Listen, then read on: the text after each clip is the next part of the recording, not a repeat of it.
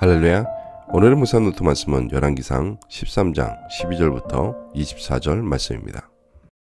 그들의 아버지가 그들에게 이르되 그가 어느 길로 갔더냐? 그의 아들들이 유다에서부터 온 하나님의 사람의 간 길을 보았습니다. 그가 그의 아들들에게 이르되 나를 위하여 나귀의 안장을 지우라. 그들이 나귀의 안장을 지우니 그가 타고 하나님의 사람을 뒤따라가서 상수리 나무 아래에 앉은 것을 보고 이르되 그대가 유다에서 온 하나님의 사람이냐? 그러하다. 나와 함께 집으로 가서 떡을 먹으라.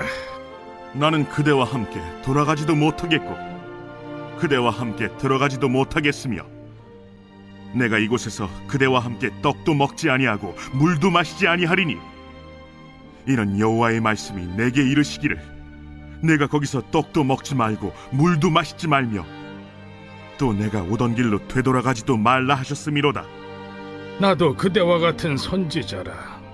천사가 여호와의 말씀으로 내게 이르기를 그를 네 집으로 데리고 돌아가서 그에게 떡을 먹이고 물을 마시게 하라 하였느니라. 이는 그 사람을 속임이라 이에 그 사람이 그와 함께 돌아가서 그의 집에서 떡을 먹으며 물을 마시니라 그들이 상 앞에 앉아 있을 때 여호와의 말씀이 그 사람을 데려온 선지자에게 임하니 그가 유다에서부터 온 하나님의 사람을 향하여 외쳐 이르되 여호와의 말씀에 내가 여호와의 말씀을 어기며 내 하나님 여호와께서 내게 내리신 명령을 지키지 아니하고 돌아와서 여호와가 너더러 떡도 먹지 말고 물도 마시지 말라 하신 곳에서 떡을 먹고 물을 마셨으니 내 시체가 내 조상들의 묘실에 들어가지 못하리라 하셨느니라. 그리고 자기가 데리고 온 선지자가 떡을 먹고 물을 마신 후에 그를 위하여 나귀의 안장을 지으니라. 이에 그 사람이 가더니 사자가 길에서 그를 만나 물어 죽이매 그의 시체가 길에 버림받으니 나귀는 그 곁에 서 있고 사자도 그 시체 곁에 서 있더라. 우리가 살아가는 이 세상의 가장 중요한 것 중에 하나는 선택입니다. 매일매일 우리는 수많은 선택을 하게 됩니다. 어떤 음식을 먹을지, 어떤 옷을 입을지, 어떤 일을 할지 등등. 그러나 우리가 이러한 선택에서 가장 중요한 선택은 하나님의 말씀이 어떻게 다룰지입니다. 오늘 본문에서 하나님의 말씀을 어긴 선지자가 겪게 되는 비극적인 결과를 보여줍니다. 그리고 이것은 단순히 그 선지자에게만 해당된 것이 아니라 오늘을 사는 우리에게도 해당되는 원칙입니다.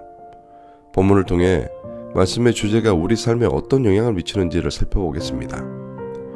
먼저 16절과 17절에서는 하나님의 명령을 어긴 선지자가 겪는 결과를 보여줍니다.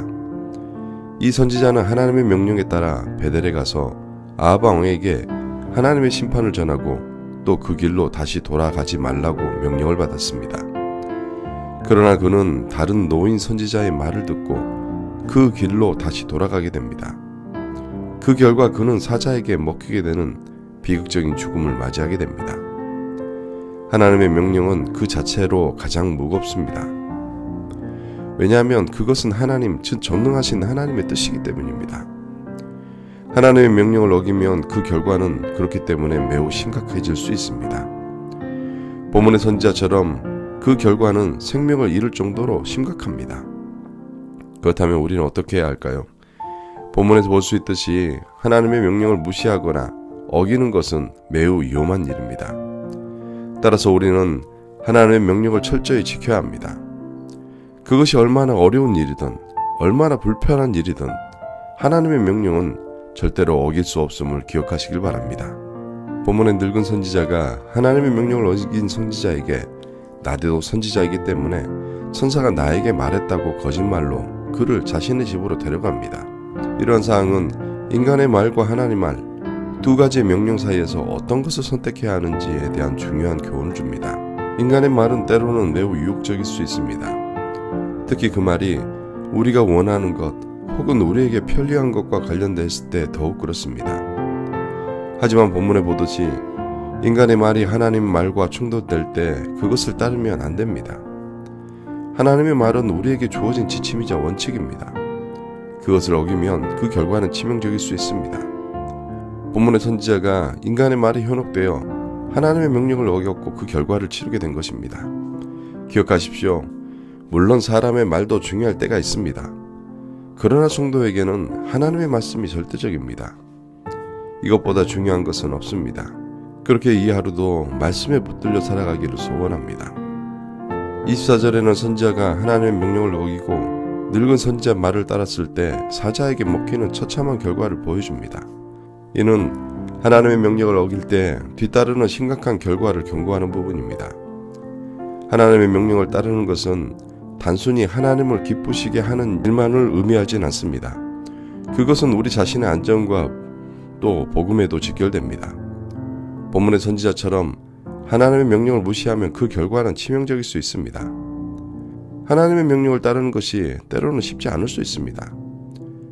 그러나 그것은 우리가 하나님의 축복과 지혜 또 안전을 누릴 수 있는 유일한 길입니다. 순종은 단순한 규칙을 지키는 것 이상의 가치가 있습니다. 기억하십시오. 하나님의 명령에서 우리의 역할은 매우 중요합니다. 그것은 단순히 하나님을 영화롭게 하는 것 이상의 우리의 삶에 영향을 미칩니다. 말씀 마무리합니다. 기억하십시오. 하나님의 명령은 우리의 삶에서 중요한 지침입니다.